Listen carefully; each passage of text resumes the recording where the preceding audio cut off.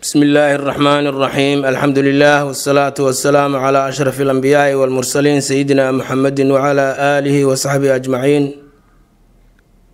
waa dersigeennii sideed iyo labaatanaad ee duruustii ku saabsanayd soonka bisha ramadaan iyo cibaadaadkii xidhiidhka la lahaa dhinaca kale waa dersigii saddexaad ee ku saabsanaa ciidda labada ciidood Kayfiyatu salaati alciid. Salaada ciidda ah sidee baa loo tukanayaa tan haba yaraatee wax khilaafa oo ka taagani ma jiro. Nabigu siduu u tukaday unbaa loo tukanayaa waana sida soo socota. Salaatul ciidi salaada ciidu rakcataani bal horta laba ragcadood waaye.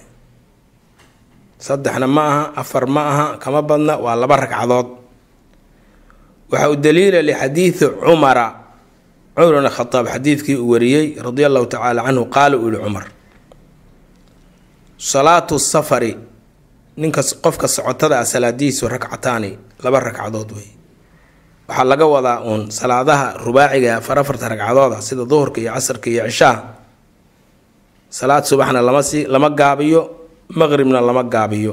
Salaada subax sideedii bay laba u tahay maqribkuna waa saddexdiisii salaadaha musaafirka ee waa la gaabiyey la leeyahay markaad maqasho waxaa laga wadaa ogow inay tahay kuwa rubaaciga afar afartoo duhurka iyo casarka iyo cishaha. Salaatu safari rakcataani wey. Wa salaatu ladxaa salaada barqinka la tukadana rakcataani wey. Wa salaatu lfitri salaada ciidulfitriga la tukadaana rakcataani wey. Tamaamun hayru qasrin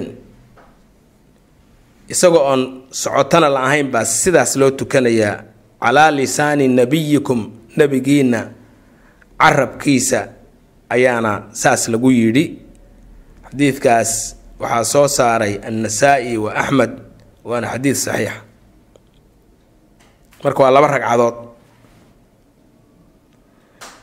Laba ragcadood oo salaadaha kala la mid un weeye. Wax alla waxay kaga duwan tahay male waxay leedahay takbiiratul ixraam baa lagu gelayaa laakiin waxay uga duwan tahay allaahu akbaro dheeraada ayay leedahay. Wa tusallaa waxaa loo tukadaa cala suurati alaatiyati qaabkan soo socda ayaa loo tukadaa oo maxay tahay qaabkii? Yabda-u wuxuu ku bilaabayaa alrakcata aluulaa ragcadda hore ayuu bilaabayaa. Ka saa'iri salawaati sida salaad kasta bitakbiirati alixraami salaada gelitaankeeda allaahu akbarteeda ama allaahu akbarta salaada gelitaankeeda allah intuu istaago uu niyada gashado si fiican niyada u gashado inuu laba ragcadood oo sunnata ciidi lfitri a ama dad baaba qaba inay waajib tahay labadii ragcadood ee ciidilfitriga hadday tahay ciidilfitriga wax la tukanayo ama labadii ragcadood ee ciidil adxada hadday adxa tahay isagoo niyada gashaday intuu qiblada qaabilo isagoo taagan buu allaahu akbar dhahaya salaadii waa galay marka. Markaas kadib taas takbiiratu lixraam baa la yidhaha waa kow. Uma markaa kadib yukabiru allaahu akbar buu dhahayaa toddoba goor yuu allaahu akbar dhahayaa bacdaha takbiiratulixraamkii allahu akbartii salaada lagu galay dabadeed toddoba goor buu allaahu akbar dhahayaa qabla an yabda-a intuusan bilaabin alqiraa'ata aqrintii faatixada iyo suuraddii ka dambeysay intuusan bilaabin yuu toddoba goor allaahu akbar dhahayaa toddoba goor ayuu dhahayaa marka marka allaahu akbar marka la dhihiba markastoo allaahu akbar la dhahayo gacmaha kor ayaa loo qaadayaa maxaa u daliila? Wa kaana ibnu cumar cabdullaahi ibnu cumar wuxuu ahaa maca taxariihi lilitbaaci isagoo caan ku ahaa cabdullaahi ibnu cumar. In tafaasiisha yaryar wax kasta inuu nabiga uga daydo bal wax kale iska daaye meeshii rasuulku uu ritigiisa fadhiisiiyo wuxuu isku dayi jiray inuu fadhiisiiyo marka wuxuu ahaa caan buu ku ahaa mutaabacada nabiga sala allahu caleyhi wasalam xataa waxyaabaha iska mubaaxaadka ee caadiga ahee caadaadka bashariga ah isaguu uga dayan jiray. Marka cabdulaahi bni cumarkii sidaas loogu yiqiinay ee caanka ku ahaa inuu nabiga uun raaco yaa gacmaha kor u qaadi jiray. Laakiin hadda dadka salaadaha nabiga inoo soo wariya. Xadiid marfuuca oo nabigaa sameynayay la leeyahay ma jiro. Laakiin cabdulaahi bni cumar ayaa sameeyey. Cabdulaahi bni cumar wuxuu sameeyana waxay u badan tahay wuxuu nabiga ka arkay inay tahay. Wuxuu nabiga ka arkay inay tahay. Wuxuu ahaa yarfacu kii sare u qaaday yadayhi labadiisa gacmood maca kulli takbiiratin allahu akbar kasta. Saas waxaa sheegay zaadulmicaad mujalladka koobaad safxada afar boqol iyo koob iyo afartan labada allahu akbar dhexdooda. Allahu akbar. Hadda keligaa haddaad tahay waabaad ku ceshan kartaa. Laakiin imaam markaa tahay ay dadku kaa daba qaadayaan. Waxaa kuu soo hadhaya space yar waad aamuse aamuskaa yar miyaa wax la dhihi wax wardi ah ama wax dikri ilaahay oo la sheegayo oo soo arooray miyaa jira. Iyadana xadiid saxiixa oo nabiga laga wariyey oo waxaa halla aqriya layidhi ma jiro. Hase ahaatee waxaa sugan cabdulaahi bni mascuud inuu yidhi bayna kulli takbiiratayni labadii allaahu akbar dhexdoodaba xamdun lilaahi casa wajalla wa hanaa-un cala allaahi ammaan la ammaanayo iyo mahadnaq allagu lagu mahadnaqayo markaasaa culimmadu waxay dhaheen mahadnaq iyo ammaan alle la mahadinaya waxaa ugu fadli badan subxaana allaahi walxamdu lilaahi walaa ilaaha ila allahu allahu akbar in intaa la yidhaha marka cabdulaahi bni mascuud isaga oo maaragtay aharkiisaas isaguna wax jeebkiisa uu kala yimid inaysan ahayn yay u badan tahay wuxu uu nabiga ka warinayo oo xukmu rafci leh ayay u eg tahay marka iyadana saasaa la dhahayaa subxaana allahi walxamdu lilaahi walaa ilaaha illa allah allahu akbar. Allahu akbar kasta dhexdooda.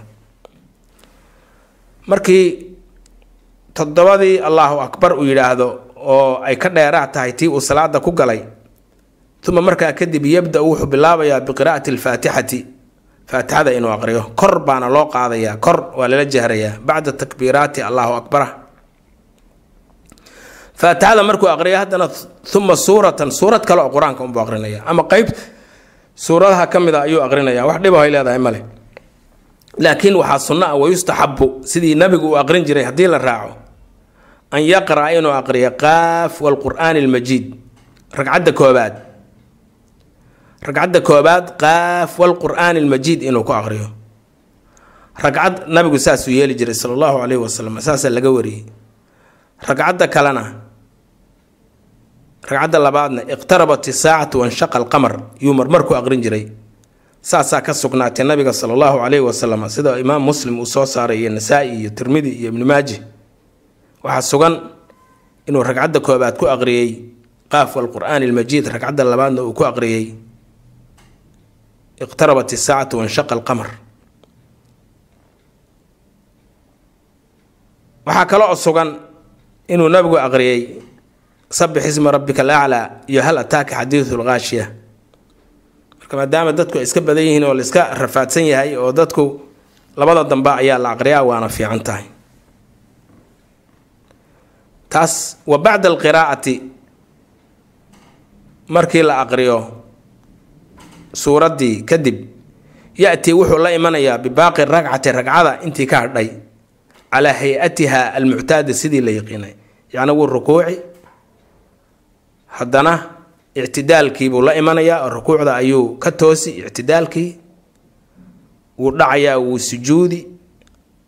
Haddana sujuudii bayna sajadatayn fadhigii labada udhexeeya labada sujuudood buu la iman haddana wuu sujuudi. Sidii uun salaada loo yaqiinay kadib buu haddana soo kici marka uu soo kacayo allaahu akbar buu la imanayaa oo takbiirat lqiyaam baa la yidhaha. Mar markii sujuudda laga soo kaco dhan allahu akbar baa lala yimaadaa. Allahu akbar taasuu la iman kadib haddana shan takbiirood oo kale shan allahu akbar oo kale ayuu la imanaya. Tii hore toddobay ahayd oo aysan ku jirin aysan ku jirin takbiirat lixraam waxaa kaloo jirta takbiirat rukuuc markii intaad suurad intaad faatixada aqrido ood suuraddii aqrido ood sii rukuucayso haddana allahu akbartii baad la imanaysaa. Marka ragcadda koobaad isugeygeynteeda waa sagaal allahu akbar bay leedahay. Takbiiratulixraamka tii lagu gelayay iyo midda rukuucda iyo toddobadii u dhexaysay sagaalkaas weeye middan kale ee ragcadda labaada waxaa weeye toddoba ayay leedahay marka aad ka soo kacaysa ragcadda koow rukuucda markaad udhaxays u dhacaysana laba iyo shan ka dambaysa allahu akbarta aada uga soo kacaysay sujuudda shan ka dambaysa. Marka toddoba allahu akbar bay leedahay ta dambana uma markaa kadib uu soo kaco yukabiru allahu akbar buu dhahayaa bacdaha khamsa takbiiraatin shan allahu akbar calaa naxwi maa taqadama sidii hadda aan horu soo sheegnay tii oo kale oo kale fi ragcati luulaa ragcadda hore wa yaqra-u wuxuu aqrinayaa haddana alfaatixa buu aqrinayaa iyo wasuura iyo suuraddii suuraddii kale kadibna salaadiisii buu dhammaystiranaya uma yutimu salaatahu salaadiisa ayuu dhammaystirayaa wa hada kaasi qowlu akharu ahli lcilmi min asaxaabati faman ba faman bacdahum fii sifati salaati alciidayni. Labada ciidood qaabka loo tukado sida ku soo aroortay waa sidaas. Dadka cilmiga loo dhanna sidaasay qabaan wax khilaafiina kama jiraan.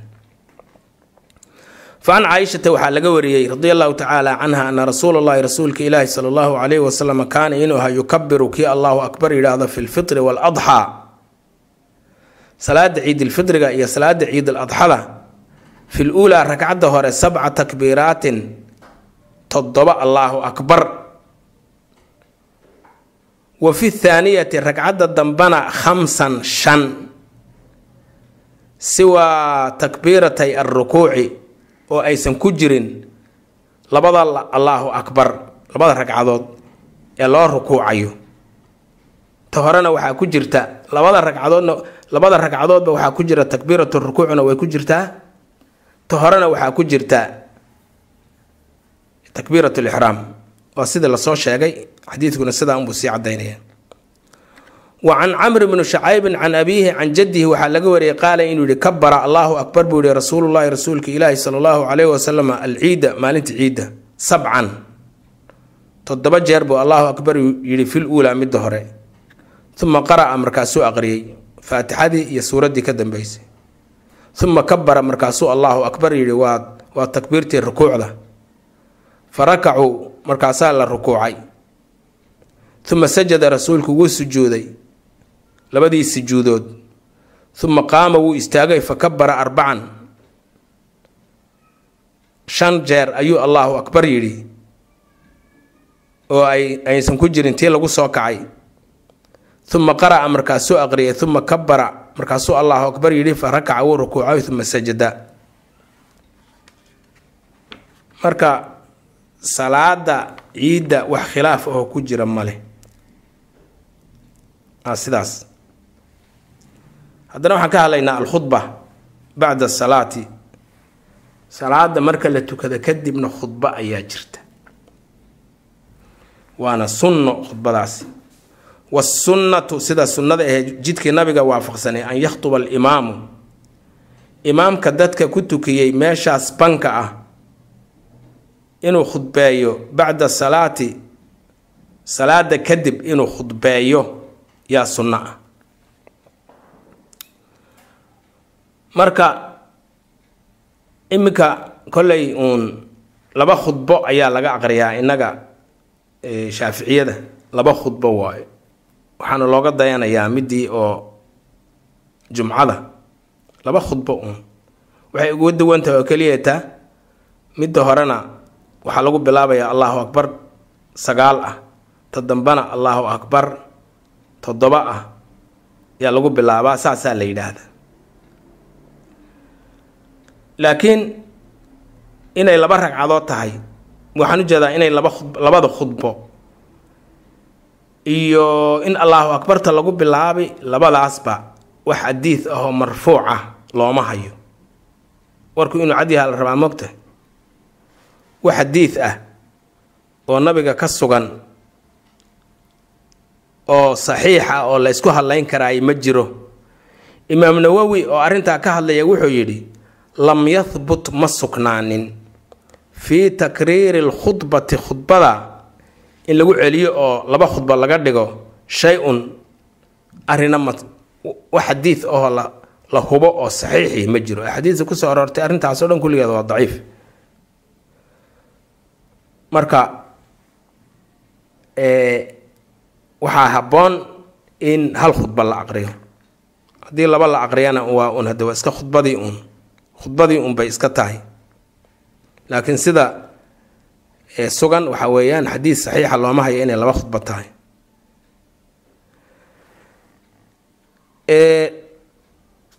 Nabiga caleyhi salaatu wasalaam muxuu samayn jiray waa kan. Khudbadiisa iyo wuxuu aqrin jiray iyo waatan xadiid dheer oo abi saciidin alkhudri uu leeyahay yaa meeshan ku soo arooray can abi saciidin alkhudriy waxaa laga wariyey qaala inuu yihi kaana nabiyu nabigu wuxuu aha sala allahu calayhi wasalam yakhruju kii soo baxay yowma alciidi maalinta ciidda ah iyo waladxaa ciidda hadda ciidulfidriga ee adxadaba ila almusallaa banka weyn ee lagu tukanaya ayuu u soo bixi jiray fa awalu shayin yabda-u bihi asalaa wuxuu ku bilaabi jiray salaad uma markaa kadib yansarifu salaadii ayuu ka soo bixi jiray fa yaquumu maqaama annaasi dadka ayuu ishortaagi jiray wannaasu juluusun iyagoo ay dadkuna fadhiyaan calaa sufuufihim safafyaalkoodii uun iyagay u fadhiyaan sidoodii fa yaciduhum markaasuu wacdin jiray wa yuusiihim wuuna u dardaarmi jiray wa ya'muruhum wixii amar ah ee ay u baahan yihiinna wuu siin jiray fa in kaana hadduu yahay rasuulku yuriidu kii raba oo damacsan an yaqtaca bachan ciidan inuu diro an yaqtaca bachan ciidan inuu diro aw ya'mura bishay-an ama inuu dadka muslimiinta ah wax amro amara bihi markaasuu amri jiray. Uma yansarifu markaasuu meeshii ka tegi jiray ka gudbi jiray. Sidaasay ahayd. Marka salaadaa horeyn jirtay khudbadaa ka dambeyn jirtay khudbadana hadda wax tafaasiil ahoo loo sheegay inay laba tahay iyo in lagu bilaabayo allaahu akbar iyo midna kuma qorna qaala abu saciid wuxuu yidhi falam yazal innaasu dadku iskama bedelin calaa daalika sidaas oo imaamku markuu yimaado inuu salaada ku bilaabo kadibna khudbeeyo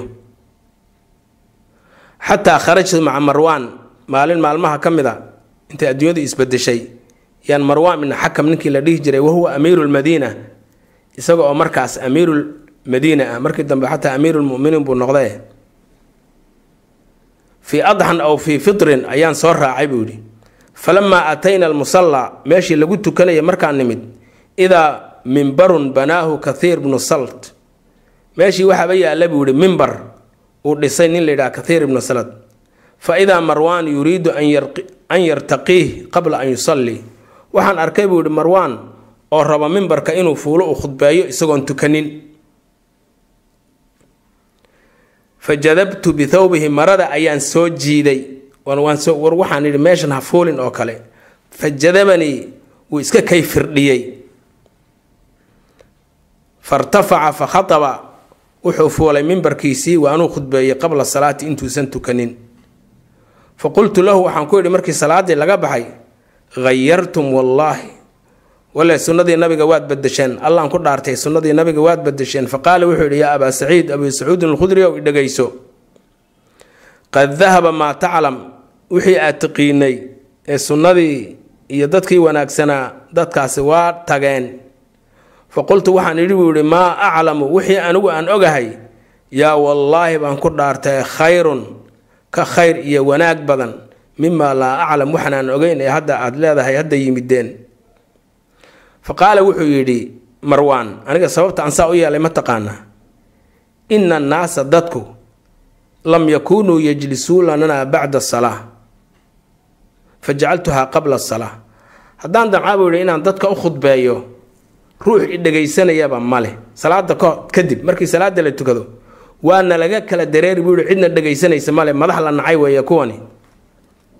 Markaas bidcadaasuu keenay oo ah inuu khudbeeyo salaada ka hor.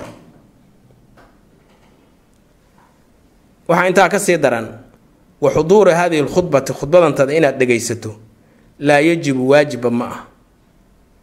Bal inay waajib tahay iska daayo yustaxabu lilimaami qofka imaamka ee khudbaynaya waxaa u wanaagsan an yukhayira fii xuduuriha inuu yidhaa inuu dadka dooransiiyo ruuxii meel ku degdegi ama dan gara dan leh inaysan waajib ahayn la dareensiiyo uu iska tago.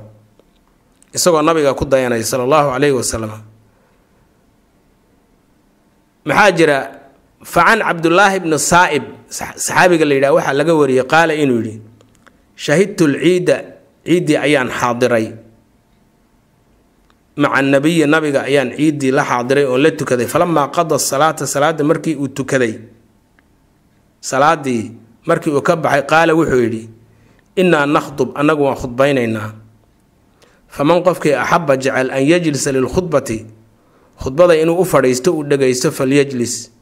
Waman qofkii axaba jecel an yadhaba inuu iska tago oo dani ka baxsanaysana falyadhab ha baxo ayuu yidhi. Xadiidkaas waa xadiid saxiixa waxaa wariyey abu daawuud nasaa-i iyo ibni maaji kuwana waxay kuwana waxay rabaanba inay ku qasbaan oo bidco ay ula yimideenba si loo dhagaysto inta la bedelay yaa salaada ka hor ayay khudbaynayeen.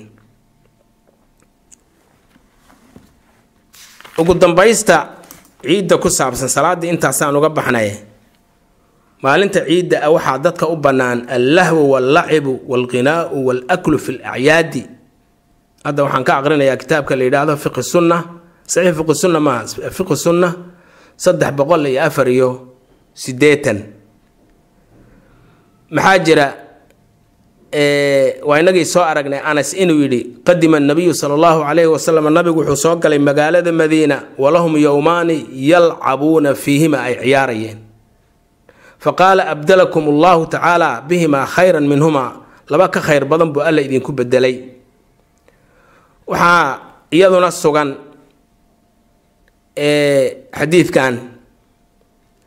Caaisha waxay tidhi qaalat caaisha waxay tidhi ina alxabasha dadka afrikaanka ahaa ee markaa joogay magaalada madiina kaanuu waxay ahaan yalcabuuna kuwa ciyaara cinda rasuulilaahi sala allahu calayhi wasalam fii yowmi ciidin.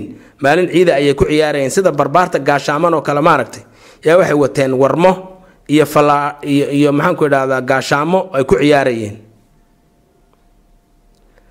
Fadalactu waan qooraansaday min fowqi caatiqihi. Waxaan ka daawaday rasuulka degtiisa intaan isku qariyey baan ka fiirsanayay tidhi fatactaa lii mankibahu mankibahi garbaha ayuu ii raaraciyey fajacaltu waxaan bilaabay anduru ilayhim inaan daawado min fowqi caatiqihi garabkiisa korkiisa xataa shabictu ilaa aan ka dhergay oo intii aan ka noogay uma insaraftu markaasaan iskaga tegay xadiidkaas waxaa wariyey imaam axmed iyo bukhaari iyo muslim ayaa wariyey.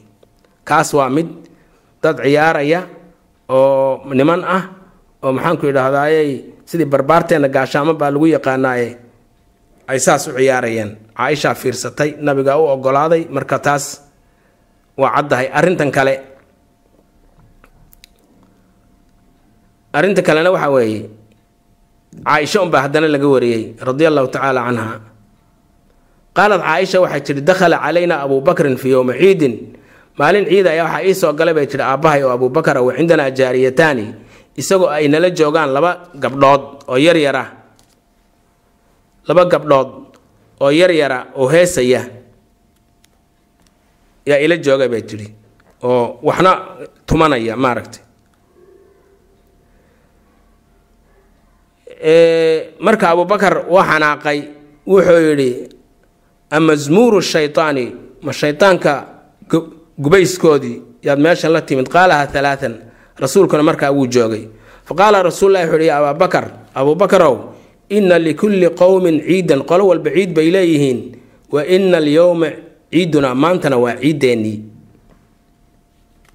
Lafdulbukhaari haddii aan sii fiirino oo ka sii fasiixsan kan maxay sheegaysaa? Qaalad caaisha waxay tidhi dakhala calaya waxaa ii soo galay. Rasuulullahi rasuulka ilaahay baa ii soo galay wa cindii isagoo ila joogaan jaariyataani laba gabdhood oo yaryarahoo tuqaniyaani heesaya. Waxay ku heesayeenna biqhinaa'i bucaathin awsiya khasraj. Waa ay dagaalameen gabayada ay isu tiriyeen iyo heese isu qaadeen. Nabiguna wuu joogay fadajaca annabiyu cala alfiraashi rasuulku gogashi ayuu iskaga seexday waxawala wajahu wejigiisana wuxuu ka leexiyey xaggii gabdhihii wa dakhala abuubakar baa soo galay fantaharanii markaasuu ay canaantay. Wa qaala wuxuu yihi mismaar mismaaratu shaytaani cinda annabiyi ma gubayskii shaydaanka cinda nabiga agtiisa lagu aqrinayaa fa aqbala calayhi nabiyu nabiga ayaa ku soo jeestay fa qaala wuxuu yihi dachumaa iska dhaaf iska daa. Wa kaana yowma ciidin bay ahayd oo yalcabu suudaanu bidaraq. Marka labadaas xadiis yaa waxay daliil u yihiin maalmahaas ciyaaraha oo dadku ay iska ciyaarayaan maaragtay inaysan dhib lahayn oo dadku inay farxaan oo lacib iyo waxaas lala yimaado aysan waxba dhib lahayn. Haddii banooni la ciyaarayo wahaakadaa sidaas oo kale. Marka wax alla wixii ku saabsanaa ciid na intaas ayaan ku soo gabagabaynaynaa wasala allahu wasalam calaa sayidina muxamedin wacala aalihi wasaxbihi wasalim